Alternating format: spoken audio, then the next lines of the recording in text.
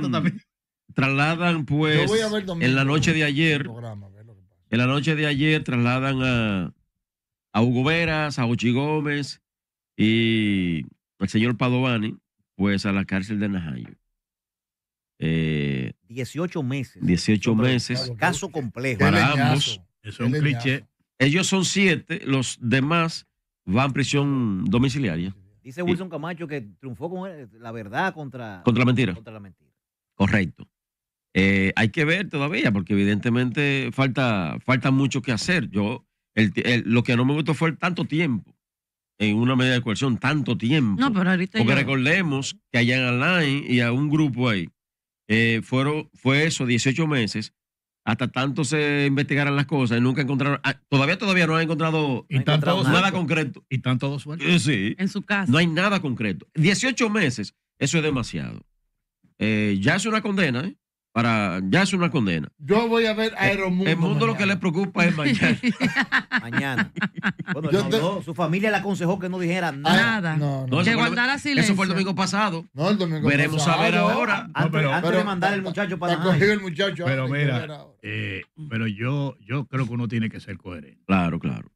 Ni con lo de Odebrecht, ni con los funcionarios del gobierno pasado, ni con esta gente de ahora. Uno puede estar de acuerdo Claro que en ese tipo de medidas. No, no, evidentemente. Eh, Eso Yo es creo, yo creo que eso no favorece ni a la justicia ni a la lucha contra la No, Eso es cierto. Al sistema eso no lo O favorece. sea, agote el proceso judicial respetándole el derecho a cada quien. así es. Y al final, si usted es culpable, que le metan 100 años. Así mismo. Porque Ahora, ver- si no es culpable, porque la verdad es. Eso es. porque, eh, por- perdón, es mundo, porque uno tiene que pensar también en la familia de esa gente, Oh, oh. que no son culpables mucho. ¿Qué puede tener culpa un niño de 8 años, un Imagino. niño de 10 años? Pero. Que ahora venga y, y su papá no le llega, día van y día viene, el papá no le llega. ¿Qué Mire, mire, Pero- pero- eh, eh, pero- esa pero- parte ahí es no, frustrante. ¿Eh? No, pero los padres tienen que pensar también cuando están Sí, manejando pero- recursos. sí, pero- pensar, sí, pensar. espérate. Eso, eso tú se lo puedes decir a un delincuente. diablura. Por eso No, tú se no, lo puedes decir a un no, no, delincuente. No. Pero en el caso de ellos hay que ver todavía. No, no, pero además se presume Pero- la pero- inocencia. Se presume la Eh, inocencia. Este está igual que. que Se no, presume no, la inocencia. Wilson, Yo Wilson. entiendo i- i- igual que. que el caso, por el ejemplo, marino que parece. pero- el único que no parece no, la marina. pero Este escúcheme. No, no, porque es que- Escúcheme, es que por mira, algo hay que empezar, pero por algo eh, hay que empezar. Pero escúcheme, vimos el tema de Odebrecht.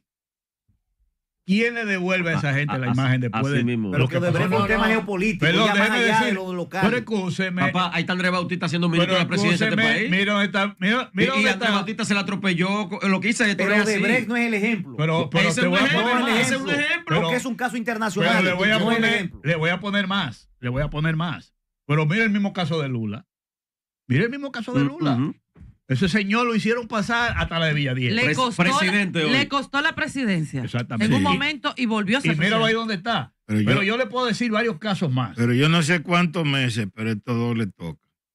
Pero oye, yo no digo que no le toque. Claro. Oye, Yo oye.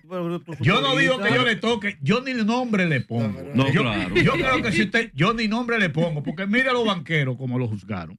La mayoría de los banqueros estaban en su casa y lo fueron juzgando ahí cuando la crisis, No. ahí, ahí. Y cuando le tocó la decisión, Claro. se sentó el precedente. No, mira, oye, una O sea cosa. Indultaron, El- indultaron mucha gente. el ahí. PLD, No, no, no indultaron a nadie. El PLD y mucha gente, y bien hecho. A doña, a doña Viviano nada más. menciona el término jurídico, el debido proceso. Claro. Venga acá, óigame bien. Dice una Perdón, máxima. dije Viviano, doña Vivian. Doña Lubrano, Lubrano. doña de Vivian Castillo. Lubrano. Dice una máxima. Lubrano de Castillo. Dice una máxima que es mejor, es preferible que un delincuente salga ileso a que condenen. A un inocente. A un inocente. Claro. sí. Entonces, ¿qué pasa? Hay una presunción de inocencia. Y si de luego cuando se investigue, como ha pasado ya, se investigue, se Todos los casos que tenemos son así. el- los muchachos no son culpables. ¿Quién le paga? No a la Pero- familia, a ellos pero- mismos. ¿Quién le por paga Dios, esa pela? Esos dos antes de comenzar son eso y Pero más. no es así, Pero- Leo, no es eso lo así. presume Leo. Don usted, Leo, don don Leo. Leo, pero- Mira, Eso lo presume usted. Leo, los- los- Las investigaciones son las que van a hablar. Pero No, dígame, no, ¿cuántos de ustedes leyeron el...? Vamos a cambiar La la, ley. Pero ellos van a- cambiar la ley. Pero ellos van a, la pero perdón, si ellos son culpables, Van a dentro de un condenarlo. año cuando se culpables los van a meter preso como quieran. Pero- Pero, antes no. Pero el mundo, Esa es la verdad. pero el mundo, ¿cuál es la diferencia cuando nosotros como estudiantes nos metían presos sin ninguna prueba? No, no, no, Y ni juicio no pero pasaba. esto es diferente. Pero- No, no, no es diferente. ¿Eh? Es violación de derechos. No, pues sí. Sí. por Porque lo que pasa es que el que no. Oye, eso es violación de derechos. No, pero vamos a ponernos de acuerdo Pero, para el Leo, debate. pero oye bien, Leo. No, Leo, Leo, pero, eh, Leo, cada quien Leo, expresa la gente tiene que ser coherente. Yo no tengo preferido. Yo estoy hablando de proceso. Claro. Y estoy hablando de asuntos que dice, hasta que no se demuestre lo contrario, usted es inocente. Sí. O sea, hay que respetar el derecho a una gente. Mire, yo no encubro a ningún ladrón, ningún corrupto, ningún asesino, ninguna gente que bregue con droga. Ahora, cuando usted lo encuentre culpable, métale todos los años que usted quiera. Sí. Ahora, respeta el debido proceso, porque si el hombre es inocente, ¿cómo tú lo recuperas? Como pasó con el tema de Odebrecht, Claro. que ahí estaba Roberto Rodríguez, Así es. que estaba Andrés Bautista, que estaba inclusive César Sánchez, que estaba Jesús Chubaque, Vázquez, sí. que estaba Pacheco. ¿Y dónde están ellos ahora? Pero no crea que no tienen el lastre de eso. Inclusive algunos de ellos, para poderlo nombrar, todavía está el de la el de EGI, todavía está el de, el de la de, de T, que no lo nombran porque tienen el lastre de la acusación de, de Odebrecht. Y eso fue injusto. No, y ante el país. Y- y no lo estoy hablando por hablar. Odebrecht no es el ejemplo. El- O sea, el- sí, no, el no, ejemplo. No, no, no, Es el ejemplo. Eh, No es el mejor ejemplo. Es el Ministerio Público No, no, no, Dominicano. no, no, no, no, ejemplo. no, pues espérate. Lo Sí, que pasa es el es ejemplo. que don Héctor sabe perfectamente que Odebrecht no fue un caso nuestro. ¿eh? Ajá. No fue un caso nuestro. Eso fue un caso internacional. No, no, no, déjate gringos- de eso. no, no, pero, pero solamente fue la República Dominicana. Wilson, el caso de Brecht fue solamente República Wilson, Dominicana. déjate no fue de eso, porque, oye, déjate no, de, mira, fue un déjate problema de eso. geopolítico de los americanos. Wilson, mire, déjese de eso, Por porque ahí un gobierno, un gobierno no es verdad que va a ser de que porque lo obliguen. Olvídese de eso. Y ahí habían de todos los partidos, y todo el mundo sabe que se perseguía con eso. ¿Y ahora dónde están? Claro. ocupando ¿dónde- posiciones. Es el mismo. Ministerio Público. Pero- Porque Wilson pero- Camacho, Jenny Berenice eran los que estaban con pero Jan vamos Alain por partes. Y cuando pasó lo que pasó con Jan Alain, cuando pasó lo que pasó con el tema Odebrecht, a, a Jan Alain lo criticábamos en los medios de comunicación. Pero eso- y le pedíamos al presidente destituir ese, ese procurador Pero que no está haciendo nada a su gobierno. Pero Eso Robinson- está sucediendo ahora. Así. Robinson, vamos por partes. Yo Bueno, creo. por la parte que usted entienda, pero esos son los temas. No, pero déjeme decirle algo, porque es que lo estamos envolviendo. No, no lo estamos Yo creo que el proceso pudo ser mal instrumentado, pero los corruptos no, los corruptos estaban ahí y están. Pero los Pero corruptos. lo Pero, contrario. ¿quién- De pero ese ¿quién dice que son los corruptos? ¿Quién dice que No, son no, los yo no digo que son eso. Bueno, pues tú, tú- tú- usted está Yo que- lo que digo que ese proceso fue mal instrumentado y todo el mundo lo sabe. ¿Cuál, cuál? Ese de Odebrecht fue mal instrumentado, pero no fue que fue falso. No, no, no, pero ahí no hay nadie culpable. no. No Pero los hechos y el tiempo dijeron que, son, que, que era no, falso no, todo. no, no. ¿Qué- Mire, ¿Cómo va a ser? Ah, eh? Tan fuerte no, no, Perdón, no perdón, no, no se hizo la investigación adecuada en el caso de Brecht. pero también te Uno, habla a uno, nosotros, eh, pues ya, ¿verdad? Esa es su verdad. El caso de Brecht, señores, no es el mejor ejemplo que podemos poner. Y vuelvo y repito. En el lo que caso de atañe, Brecht- en lo que atañe República Dominicana, Perdón, sí. perdón. Yo no, o sea, yo no creí en el caso de Brecht en ningún momento y entendí que ninguna de esa gente debió estar sometida a la justicia porque fue un caso a nivel internacional. Fue solamente en la República Dominicana. El caso de Brecht no fue en República Dominicana, fue en todos los países Sí, pero- Pero de la Wilson, región. ¿cuál es que tú Oye, ¿qué es lo que pasa? Entonces, Wilson? En el caso, por ejemplo, que, que- de que estamos hablando actualmente, Sí, vamos de los ahora. 18 meses, Sí, vamos para no distraernos por otro lado, de los vamos. 18 meses, si el Ministerio vamos. Público entiende que el caso es complejo y todavía hay que esta gente, eh, por la situación de recursos que manejan, por el vínculo que tienen con el partido de gobierno, porque hay un vínculo con el partido de gobierno, eh, pueden distraer pruebas para poder probar cualquier No, situación no. sobre esa. Y además de un muchacho que manejaba la inteligencia, que maneja la inteligencia de este país. Vamos a estar claros, ¿eh? Porque no es cualquier, no es cualquier paje coco, ¿eh?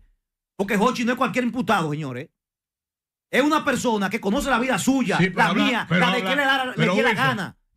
Entonces, esa persona tiene Pero que estar Wilson, obligado ahí. Wilson, pero no generalice la. Wilson, pero no generalice la medida. Hugo es funcionario de este gobierno. Lo fue. Bueno, pero Pero espérate, te voy a, pero te voy a, de lo que pero te ahí. voy a preguntar. Hugo es funcionario actual de este gobierno. fue, ¿Cuál lo es el fue. peligro de él? Y yo no estoy defendiendo a Hugo por Hugo. Bueno, yo claro. estoy defendiendo la- la- la- la- el objetivo. Mire, hermano. Y, y lo que ha pasado con los funcionarios del PLD, tú lo justificas también, los 18 meses de prisión, que ahora tanto o en su casa o en libertad. Así mismo es. No, no ¿Y qué ha pasado? Los 18 no, que devuelvan el No, dinero. no, sí. pero, pero el problema es que tú lo metiste preso. Lo que pasa es que tú lo metiste preso para un proceso y le tiraste 18 meses y ahora están en su casa y en libertad. y con los cuartos. ¿Qué pasó? Entonces, que lo que yo digo, mira, y no lo digo por persona, porque hoy, hoy por ti, mañana por Claro, mí, ¿eh? claro. Eso que le pasó a Jan Alain ahora fue lo que él montó con Así la gente de a- a- Odebrecht, así mismo. que contrató hasta compañía de comunicación Sí, para sí, firmar sí. toda la es cuestión. Pues lo sabemos todo. ¿O tú crees que aquí no lo conocemos todo? Señores, el Ministerio, Mire, hermano, el ministerio Público es uno. Sí, no, no, Si no. estamos- no, pe- pe- pe- pe- perdón, perdón, perdón. Si estamos hablando, de, porque aquí le podemos, que queremos poner y vender que Yanalán fue, ha sido el único procurador de por vida. El Ministerio Público, ese ha sido su accionar todo el tiempo. No, no, lo hizo. no. ¿Cómo lo espérate, hizo Jan Alain? Se supone que entonces en esta ocasión no, debe de hacerlo Jan Alain porque no. Estaba. No Sí, estaba. Pero Jan no. Alain hacía que iban a la una y a las dos de la mañana y El entraban Ministerio con Público. Eso Óyeme, Alain. el óyeme. Ministerio Público. Permiso. Y eso Bueno. entraban, y eso, y, y entraban, Bueno, señores, y grababan la, la mal. vida de Sí, la hombre. persona en ropa interior. O no se recuerdan, o no se recuerdan, Y entra está Pero haciendo Lorena está mal. hablando, déjala que hable. Perdón. O no se recuerdan lo que pasó con el ministro de Salud Pública en aquel entonces, con el ex ministro de Salud Pública que entró en su casa. En la Señores, madrugada. En la en madrugada, pijama. en pijama. eh, Sí. O sea, su familia, la integridad de su familia, de Hugo, sus hijos. fue lo que le pasó a él. O sea, eso le pasó. No, y peor. Y le voy a decir y una Victoria, cosa. peor, y le voy a decir una cosa. porque- El sábado pasado yo dije que si finalmente se determina que Hugo es culpable, a mí me engañó como amigo y a una sociedad. No te engañó. Ahora, ah, no, no, Sí, no me ha engañado. pero- no me ha engañado. pero, oye. hay un proceso segundo. abierto. Hay un proceso. Hay un proceso de sensibilización de la opinión pública con. Hugo Vera. Déjame, No. tengo que decir algo. déjeme yo incidentando, hablar. Yo no estoy de acuerdo está incidentando el proceso no, el no, compañero. Déjeme yo decir algo, permiso que yo no he terminado. Yo no he hablado En el todavía. caso, en el caso, en el caso, por ejemplo, de Jan Alain, decía quien vino a implementar esa acción fue él. Grababan a las personas Dios, cuando entraban a su vivienda, a sus hijos, a su esposa, a todo el mundo en pijama, en no ropa visto interior. Y eso, señores, va contra la dignidad del ser Eso no humano se había y de su familia. ¿Sí o Usted no? no puede humillar a una persona de esa manera. Con su familia, con sus hijos pequeños, usted entrar y la policía. O sea, una persona hasta puede morir de un infarto o un hijo, no sé. O sea, usted no sabe de qué manera puede reaccionar porque están entrando en su hogar. Usted puede detener a una persona, pero no hay por qué hacerlo de esa manera. Ahora bien, con relación a Hugo, vamos a esperar las investigaciones, Claro, señores. claro. Vamos a esperarlo. Ahora bien, es un colega, Sí, es un compañero. Me da mucha pena lo que está pasando con él. La verdad que sí. ¿Ustedes saben por qué? Porque era un muchacho que uno vio desarrollarse en los medios de comunicación, en el tema de los vehículos, como eh, funcionario, como político, como quieran llamarlo. Ahora bien, esto es un mensaje para aquellos que van a una institución a manejar recursos. Usted tiene que cuidarse. Y si usted es inocente, digo yo, usted inmediatamente, usted alza la voz y se defiende. Ahora, usted esperar tanto tiempo de que esperando que las autoridades investiguen y que usted suministró la información, todo eso se dio bajo perfil. Ahora, yo, Lorena Erasme, estoy en una posición, por ejemplo, en una institución y se me está culpando de algo, yo inmediatamente me defiendo. Ahora, el silencio de Hugo y en la forma en cómo él se ha comportado deja mucho Y el que silencio de compras y contrataciones y el silencio de, aquí, de Contraloría voy aquí porque y la el silencio del Ministerio pasada, Público. La semana Porque Hugo se quedó callado un año, pero permiso, también. pero permiso, no porque todo es un sistema. Ahora bien, estoy investigando.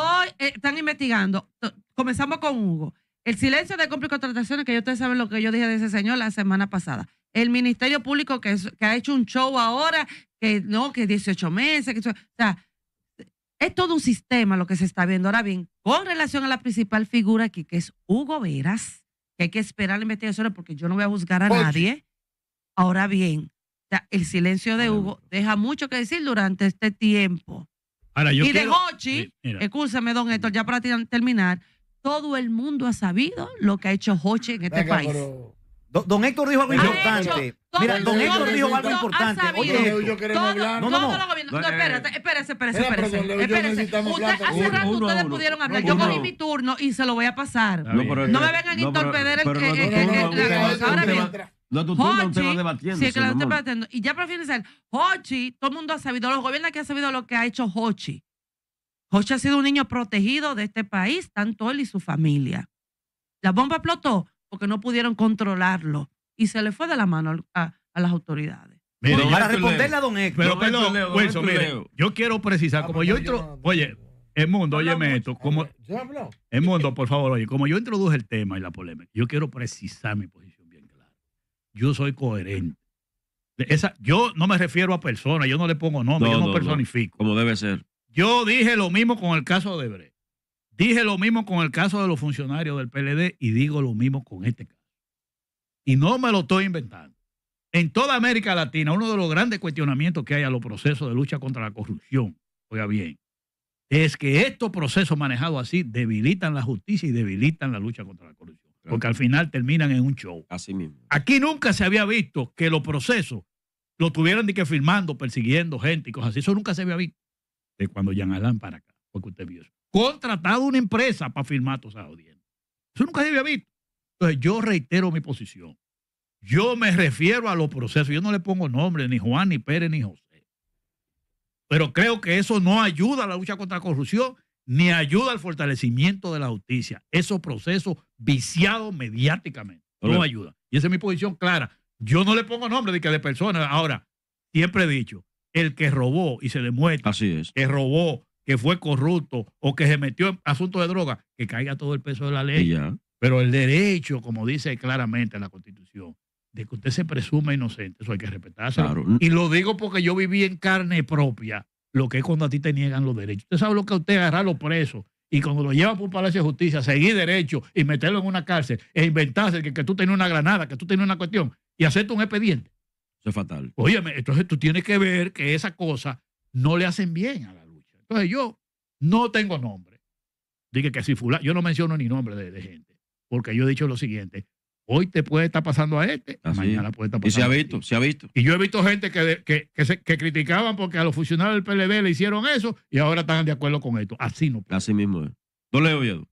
Bueno, yo lo que quiero Déjalo es hablar. criticar eh, los procesos equivocados de la televisación, la omisión de páginas como hizo Jean Alain, y el diseño que eso lo hizo el presidente.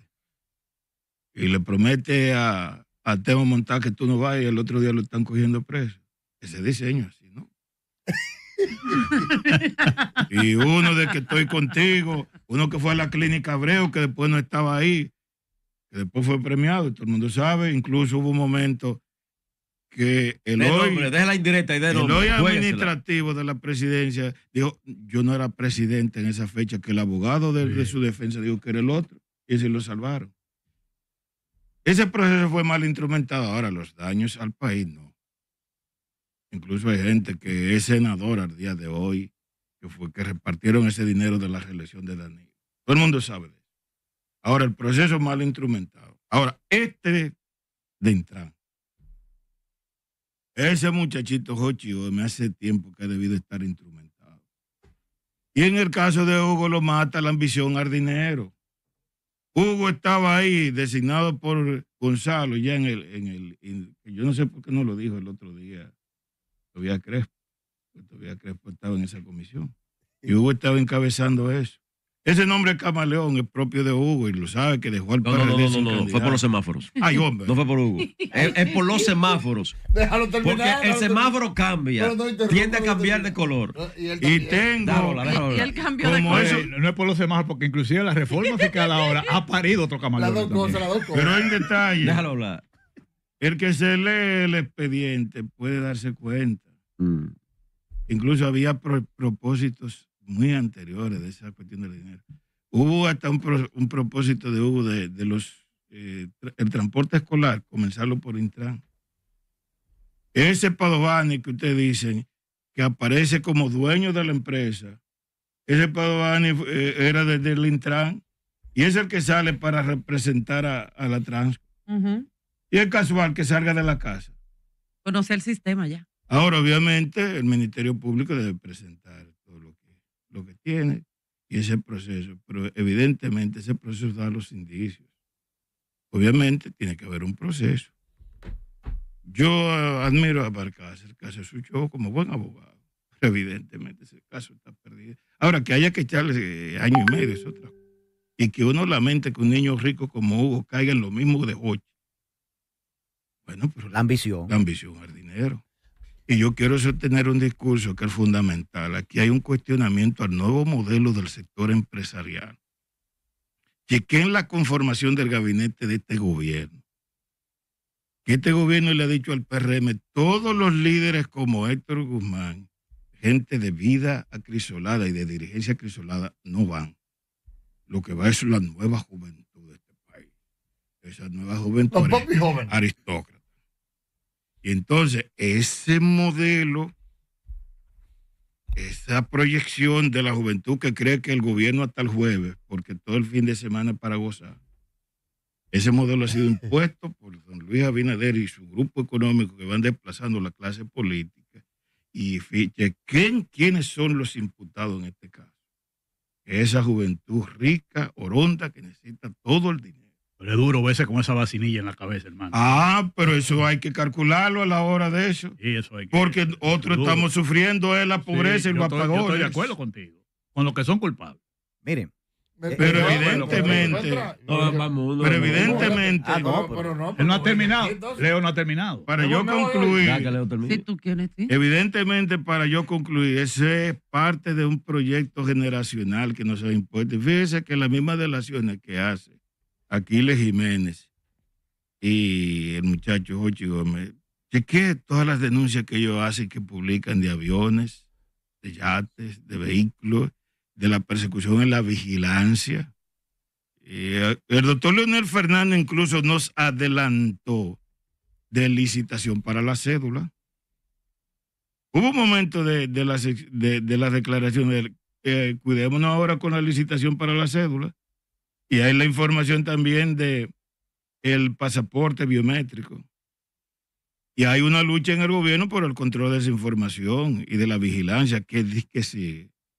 O sea, de que ya hay un planteamiento que sea más oficial. En definitiva, ese modelo que nos está imponiendo el sector económico y esta nueva clase política, desplazando a la gente que se ha consagrado en la vida militante, comprometida con los barrios y los pueblos, y esto de llegar por arriba y hacer empoderar a la clase rica con las urgencias cotidianas que no son las mismas de los pobres, eh, está dando una demostración con este caso.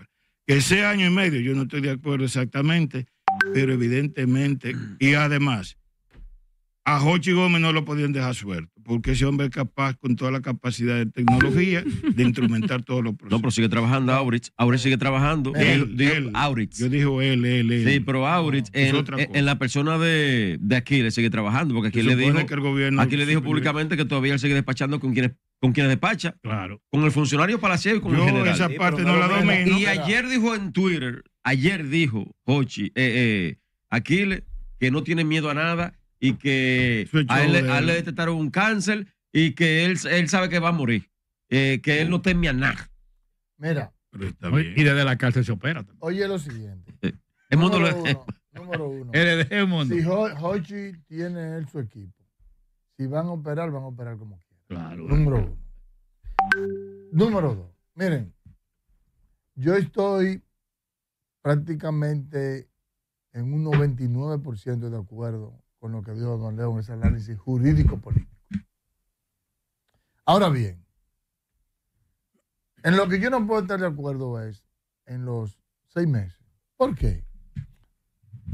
18. 18 meses. En el cliché, Fíjate, Pégate el micrófono. fíjate que en el cliché de los 18. Fíjate que don Héctor habla de que él fue víctima en varias ocasiones cuando era un joven, Sí. dinámico, de izquierda, revolucionario, político, y lo metían preso. Eso fue posguerra. Per- perdón, déjame terminar, déjame terminar mi Por análisis. su pensamiento político. Pero déjenme terminar mi análisis, yo lo escuché a, los- a ustedes. Me están interrumpiendo a los ¿Qué? dos minutos. Llorón. Habla, habla, habla. Llorón y qué ¿Qué pasa? agresivo. ¿Qué pasa? Precisamente para acabar con eso, se estableció una ola de reformas en el estamento jurídico de la República Dominicana. Claro. ¿Verdad? ¿Qué pasó? A que el juez, para dictar una sentencia, en vez de utilizar, valerse de su íntima convicción, tenía que tener pruebas. Prueba. Y además le ampliaron los derechos a, lo- a, las, a, los, a los supuestos delincuentes Sí. O a los imputados precisamente para que no haya abuso e irracionalidad en la justicia. Un código garantista. Un código garantista. Sí.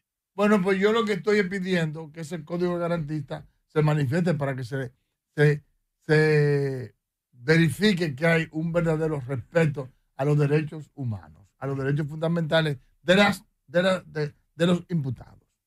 Porque aunque tú seas un delincuente, tú tienes derecho. Eso es lo que dice el, El código. ¿Verdad? Entonces, ¿qué pasa?